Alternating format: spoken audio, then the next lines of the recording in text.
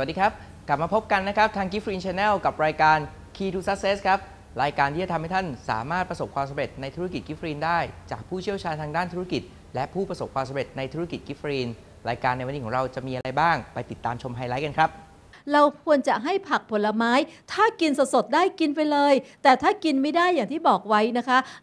เด็กๆบางทีก็เขี่ยออกหรือบางทีคุณพ่อคุณแม่นั่นแหละไม่พารับประทาน เราก็ให้ส่วนที่เป็นสกัดมาที่เรียกว่า Phyto Kids ของเด็กๆนะคะส่วนตัวบำรุงสายตาเราก็จะมี LC Vit Junior ก็คือประกอบด้วยลูทีนแล้วก็วิตามิน A ทั้งหมดเนี่ยอยู่ในรูปขนมเคี้ยวเล่นกินเล่นนะคะ ไม่ว่าจะเป็นแคลซีน Colin Kids Beta Glu Kids พรีไบโอนีเบรนนี่ Phyto Kids ตลอดจน LC วิทจูเนียเป็นขนมรสชาติอร่อย ผู้ใหญ่อยากรับประทานก็รับประทานได้ แต่อาจจะต้องรับประทานครั้งละ 10 เม็ดเป็นต้นไปจึงจะเพียงพอนะคะ แน่นอนครับ วันนี้เราจะมาพูดคุยถึงเรื่องของผลิตภัณฑ์ครับ ซึ่งเป็นผลิตภัณฑ์เสริมอาหารสำหรับเด็กครับ เรามาดูแลสุขภาพเด็กกันในกิฟฟรีนครับ มีผลิตภัณฑ์ที่หลากหลาย แต่กลุ่มหนึ่งที่น่าสนใจนั่นคือผลิตภัณฑ์สำหรับเด็กครับ เดี๋ยวเราพักกันสักครู่หนึ่งครับ แล้วเดี๋ยวมาติดตามชมกันต่อว่าช่วงหน้านั้น ผลิตภัณฑ์เสริมสุขภาพสำหรับเด็กจะเป็นอย่างไรบ้าง พักกันสักครู่ครับ